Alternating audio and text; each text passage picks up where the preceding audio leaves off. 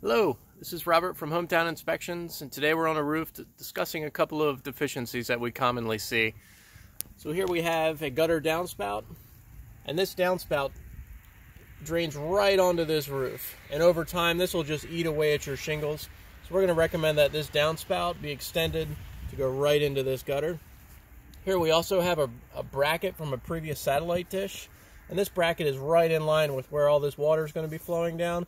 So we're going to recommend that this old bracket be removed and that these holes filled in. We also note that this gutter is just completely full of debris. So we're going to recommend that these gutters be cleaned out. Well, that's it for now. Until next time, like and share us on Facebook. Check us out at hometowninspect.com. Have a great day.